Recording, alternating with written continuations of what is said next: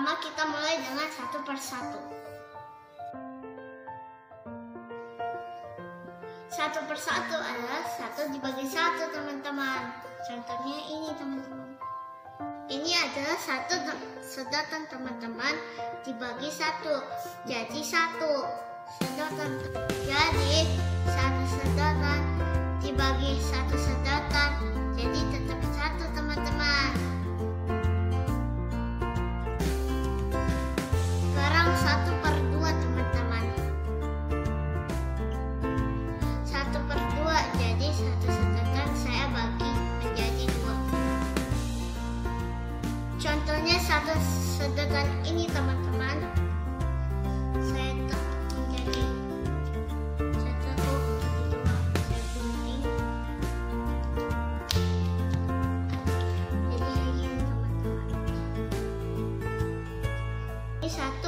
per dua teman-teman.